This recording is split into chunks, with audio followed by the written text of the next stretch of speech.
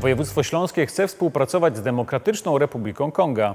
W regionie gości kilkudziesięcioosobowa delegacja z tego afrykańskiego państwa.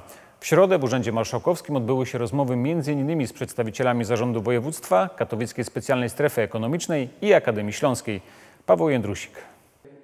Taka współpraca jest możliwa na kilku poziomach. W murach Akademii Śląskiej kształci się już kilkudziesięciu studentów z Demokratycznej Republiki Konga, ale plany są znacznie szersze. To nie tylko nauka dla studentów. Tworzymy teraz izbę przemysłową, handlową wspólnie z przedstawicielami z Kongo. Także chcemy umożliwić przepływ towarów naszych polskich do Republiki Kongo i również e, tych rzeczy, które oferują nam partnerzy z Republiki Kongo do naszego kraju. Sądzę, że ta współpraca rozwinie się na e, bardzo duży front.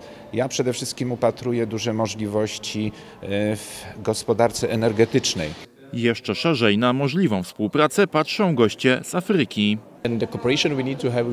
Współpraca, której potrzebujemy z województwem śląskim dotyczy rolnictwa, górnictwa i potrzebujemy także współpracy w obszarze turystyki.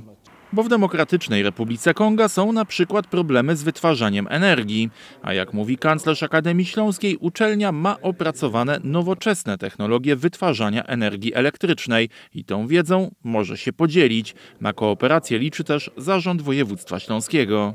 My będziemy się starali przekazać atuty województwa śląskiego e, naszym partnerom. No i wszystko pokazuje, że województwo śląskie już w tej chwili liczy się w świecie.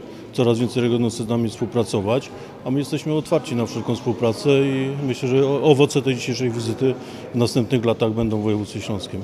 Demokratyczna Republika Konga to drugi pod względem powierzchni, a trzeci pod względem ludności kraj w Afryce.